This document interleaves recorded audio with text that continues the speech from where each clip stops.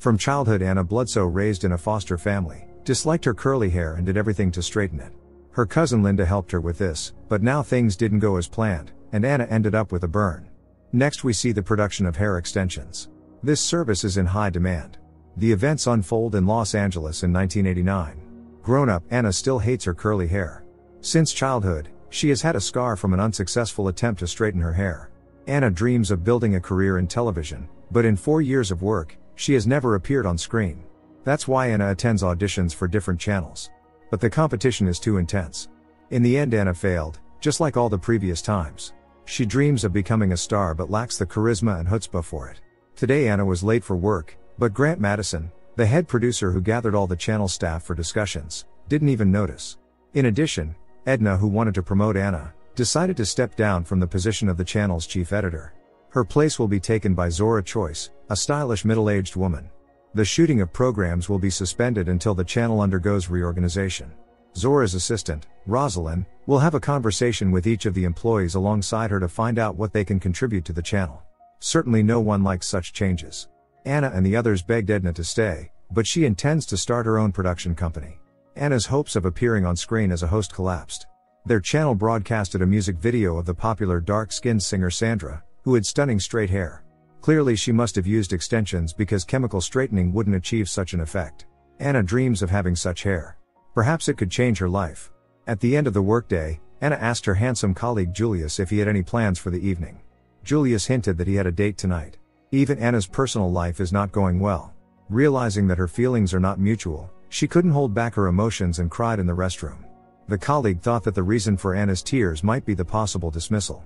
But hardly anyone is going to fire Anna because she costs the channel almost nothing. Anna's life seems meaningless.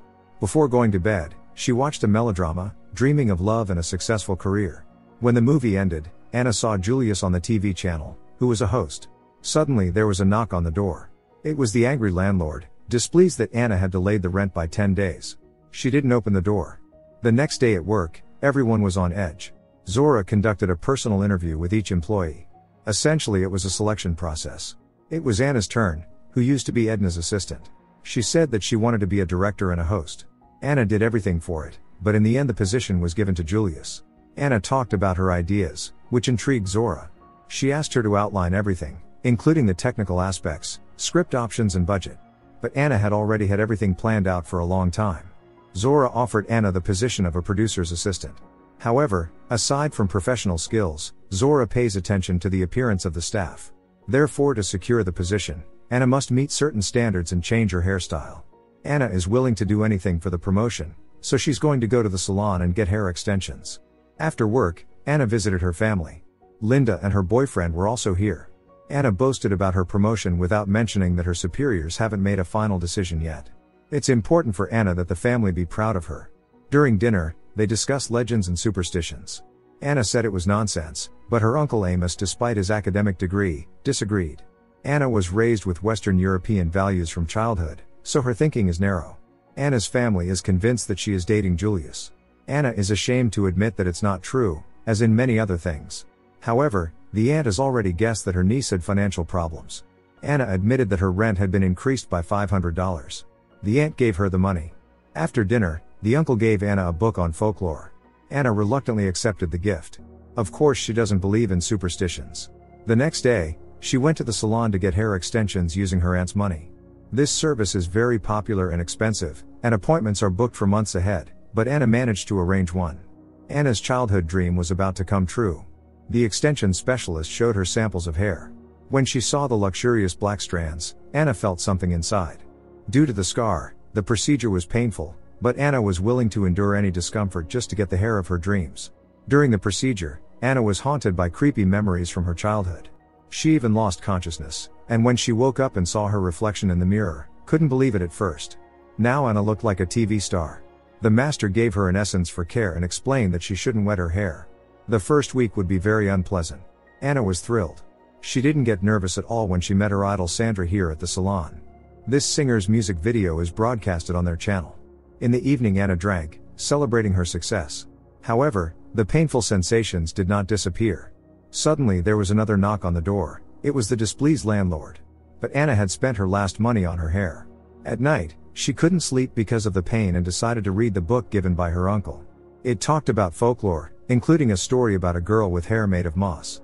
This girl wasn't beautiful and worked as a servant, doing the most ungrateful tasks. One day, she went for a walk in the forest and gathered moss, as thin as the hair of her mistress. The girl took this moss and made a wig for herself. At night, Anna had nightmares related to her family.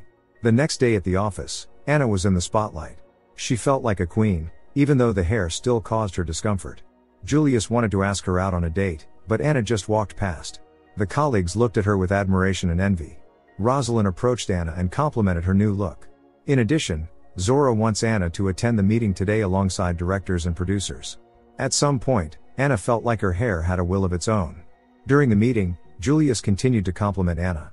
While everyone discussed the new direction of the channel, Anna felt discomfort because of her hair and couldn't concentrate. After the meeting, Anna asked Zora if she would let her host the show. However, Zora considers it risky to entrust it to someone without experience. Unable to hold back, Anna said that all these rules somehow don't apply to Julius, as if he has some exclusive privilege.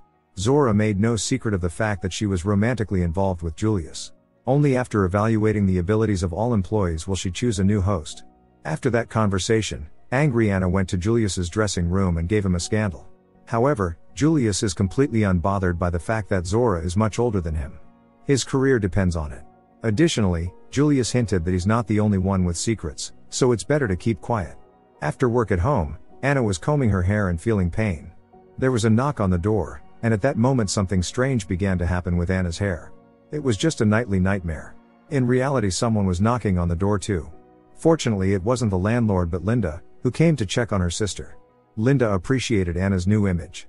Of course, Uncle wouldn't approve because he's against such things. Anna's hair continues to behave strangely, as if alive. Anna hopes it's just hallucinations due to exhaustion. Before leaving, Linda gave Anna a small gift cassettes of their recordings. Anna sincerely thanked her sister. They have always had warm relations. Alone in the apartment, Anna played one of the cassette tapes. Since childhood, she had dreamed of becoming a TV star and sang, envisioning herself as popular. Suddenly, the landlord entered the apartment. He wouldn't go anywhere until he received payment in one form or another. Anna was ready to give him the money, but Mr. Tannen was in the mood for something else. Anna realized that Mr. Tannen wouldn't let her go easily, so she pretended to want to play music because of the thin walls. In reality, Anna discreetly took a sharp object. When Mr. Tannen approached from behind, she attacked him. However, Anna was significantly weaker. At some point, something strange began to happen to her. Anna's hair attacked Mr. Tannen and took his life. Anna was horrified, not understanding how this was possible. What was happening seemed like something out of the realm of fantasy. Waking up in the morning, Anna hoped that the events of yesterday were just a nightmare, but her hopes were not realized. Mr. Tannen was found lifeless under the building's windows. It looked like an accident. None of the residents felt sorry for Mr. Tannen because everyone hated him. One of Anna's colleagues, Sista, refused to change her image to please the channel. Zora said that if she didn't do it, she would be out of a job. Looks are crucial in this industry. After the meeting, Anna spoke with Sista privately, convincing her that if she alters her appearance, she won't cease to be herself. They are just doing their jobs and must conform. Sista promised to think about it and left. Alone in the dressing room, Anna saw that the eyes in her reflection were glowing like a demon. In the evening, Anna applied essence to her hair, but it was not enough. The next day, Zora hinted to Anna that her hair had lost its shine. If Anna didn't do anything, she wouldn't get the position of the show's host. Their conversation was interrupted by Julius, who didn't know that Zora wasn't alone. To avoid losing her job, Sista also got hair extensions. Her new look was stunning. At home, Anna is contemplating what to do with her hair. She would be happy to get rid of it, but she can't. Her hair has a mind of its own. Anna tries to convince herself that all those strange things didn't really happen. Suddenly her hair became beautiful and shiny again. At the channel's office, there was a corporate event. Anna looked like a goddess. She was delighted to see Edna, her former boss. They decided to step away from the loud music and have a private conversation. Edna began to express her displeasure that Anna stopped being herself to please Zora and the channel producers. Of course, Anna didn't like it. She had worked so hard for many years and wasn't ready to give it all up now when she was so close to her dream. It's evident that the friendship between Edna and Anna has come to an end, but Anna has no regrets, considering herself better than Edna. Now Anna is in the spotlight. However, something dimmed her joy. It turned out that Grant Madison decided to give the position of the host to Zora, who hadn't appeared on screen for many years. Anna's hopes are shattered. While smoking outside, she witnessed a quarrel between Zora and Julius. Angry, Zora caught a taxi and left. Distraught Julius approached Anna and began to complain about his life. According to him, Zora manipulates him, threatening to fire. Suddenly Anna asked Julius if his car was here. They went together to his place. Julius didn't see how Anna's eyes turned demonic. She used to dream of being in Julius's apartment. And here she is. But is it right? At some point Anna wanted to leave, but Julius asked her to stay. They gave into passion. During this, obeying the will of her own hair, Anna took Julius's life. At that moment, horrifying visions engulfed her again. In tears Anna fled from Julius's apartment. After calming down a bit, she called Linda, who had recently borrowed the book, and asked her to read the story about the girl with hair made of moss. After the girl put on the wig, she became very beautiful. But it turned out to be not moss but a witch's hair. And the hair needed sacrifices. As it feed, it subjugates the carrier to its will. Anna went to the salon, but this time to a different one to remove the hair. Edna was also here. Anna felt very ashamed for the previous conversation and asked Edna for forgiveness. However, Edna no longer held a grudge. Removing the hair extensions is not that simple. When the master took scissors in hand, the hair attacked her and took her life. The same fate befell Edna and other women who were in the salon. Seeing bodies in front of her, Anna screamed in horror and ran away. She doesn't know where to go or whom to turn to. In the office, she saw the lifeless colleague. Next to her was Zora, who was in exactly the same situation as Anna. Her hair is looking for victims too. Neither Anna nor Zora knows how to stop it. When Zora tried to cut her hair, it coiled around her and deprived her of oxygen. Anna fled. Now the uncle is the only one who can help her. He was surprised to say the least, that his niece came in the middle of the night. Anna asked him to tell tales about hair. Amos recounted that many cultures, including Native Americans, believe that hair preserves a person's energy. The next day, Anna was late for work. Everyone was on edge because no one could reach Zora. That's why Anna will have to substitute for her as the host of the show. This is how Anna's dream came true. No one suspects how many lives it cost. Anna had never imagined that she would be on TV together with her idol. Suddenly Anna noticed Zora with demonic eyes. After the broadcast, as she was leaving, Anna saw Zora's silhouette in the office window. This made her go back, but at the workplace, Anna found Rosalind. Suddenly Zora's hair attacked Rosalind from behind. It completely subjugated Zora to its will. Anna hid, but it turned out that many of the channel's employees had extended their hair in that salon and are now seeking victims. Witches possess their consciousness. Anna found herself trapped. Hiding under the table, she armed herself with a sharp object. After a few seconds, someone's hair attacked her. Anna had to escape, but the back door was locked. It turned out that one of Anna's colleagues, Brooke Lynn, survived. She also extended her hair, but in a different salon, so there is no demonic influence. Anna didn't have time to explain anything to her because someone's hair dragged Brooklyn away. To save her colleague, Anna was forced to go back upstairs. Zora's hair and Anna's hair clashed. Anna couldn't shake the feeling that this somehow connected to her ancestors. In the end, Anna was able to neutralize the witch. She and Brooklyn rushed to escape together, but when the elevator doors opened, Sista appeared. Her hair attacked Brooklyn and took her life. Anna is the last person the hair hasn't completely taken over yet, but for how long? She's trapped again. Finding a gun, Anna took it and prepared to shoot, but it turned out to be a lighter.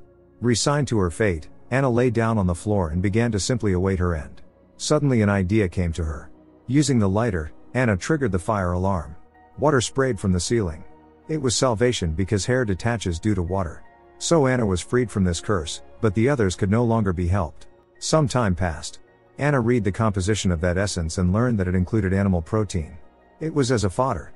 Anna's neighbor also extended her hair. Anna is about to move urgently.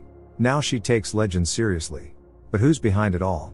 Someone benefits from supplying witch hair to salons and subjugating more and more people. Anna learned that today her sister is going to extend hair, and that's where the movie ends. Don't forget to subscribe to our channel not to miss more exciting new products. Also, the authors will be pleased if you leave your opinion in the comments.